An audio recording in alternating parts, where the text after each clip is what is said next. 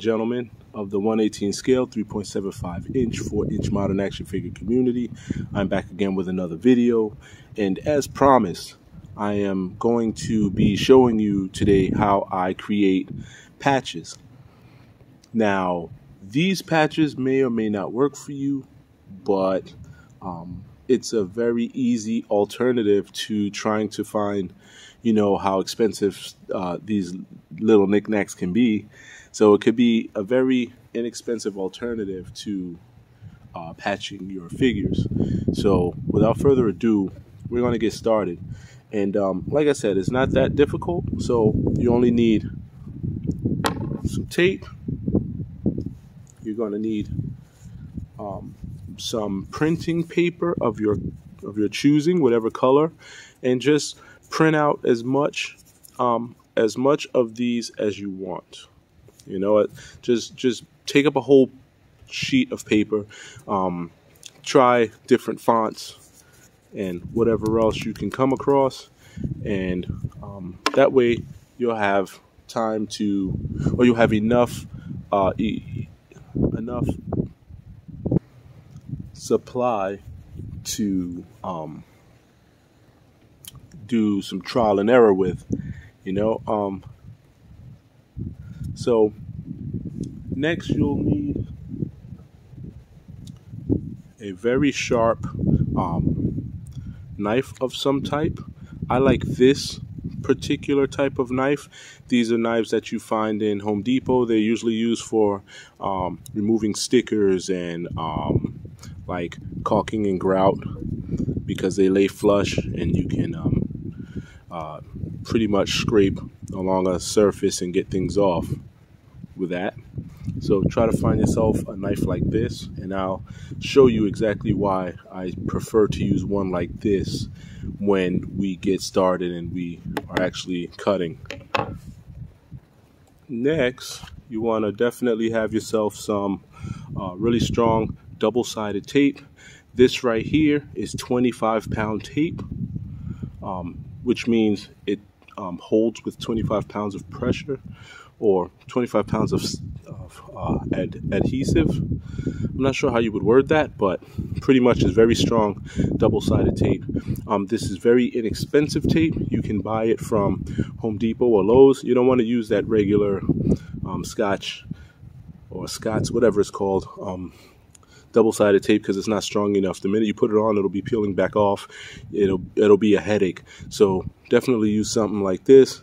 And then I also have this right here, which is T-Rex ferociously strong tape. Holds up to 50 pounds.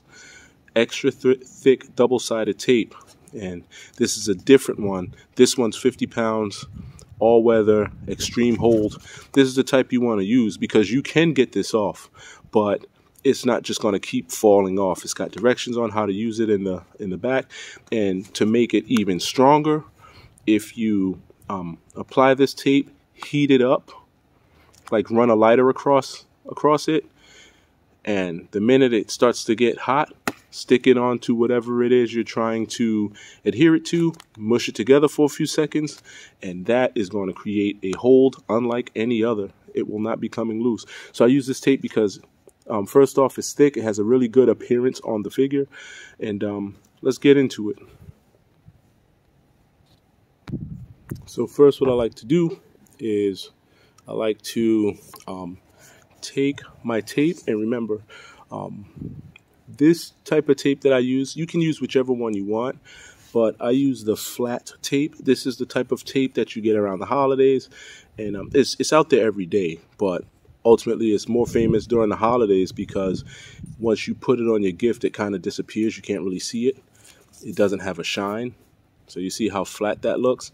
And if you notice, um, some of the patches out there uh, look just like this. Like they have that little um, flat plasticky sheen and um, it doesn't shine. But if you wanted a shiny patch like you were printing badges or something like that and you wanted it to shine, then by all means use uh, the uh, Scotch original tape, Scott's, or is it Scotch? Scotch tape, the original tape and um, it has a little shine to it. Plus, it's clear, so it'll shine and make it look more realistic. But for um, patches that you want to go on uniforms, you want to use this flat tape.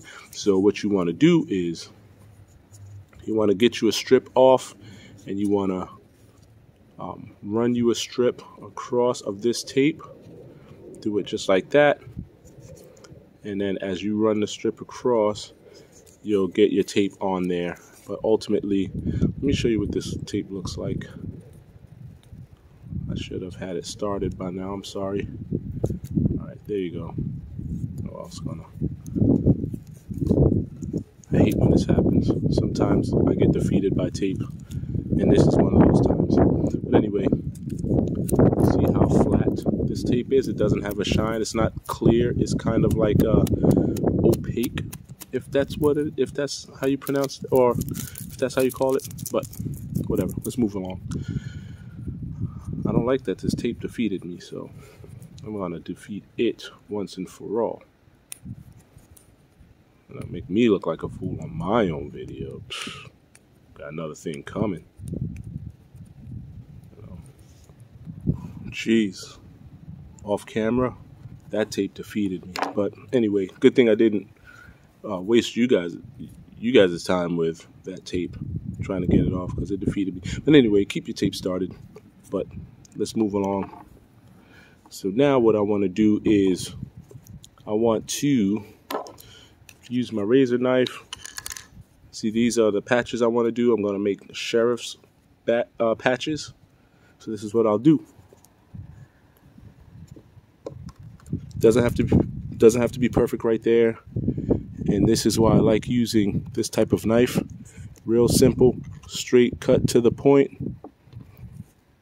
Now, I have this. What I'll do now is I'll marry it here. And unfortunately, you're going to waste a bit of this tape. This double-sided sticky tape, you're to waste some of that. But um, it's all good because we're trying to accomplish something here.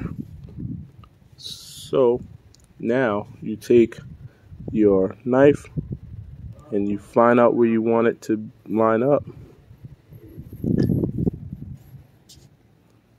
And you plunge it down.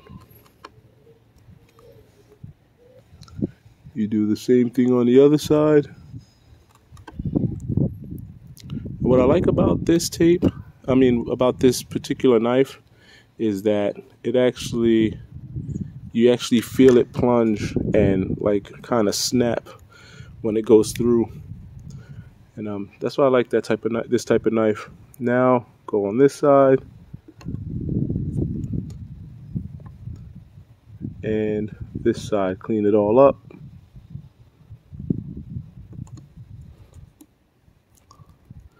Remember, always cap your knife. Don't leave it sitting. Surely you'll pick it up. And that's what you will have. And on the other side, you have your sticky side.